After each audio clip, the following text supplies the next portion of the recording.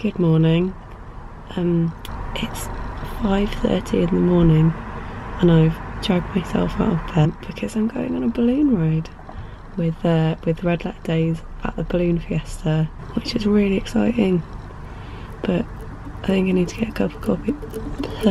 I think I need to get a cup of coffee in me first before I do anything.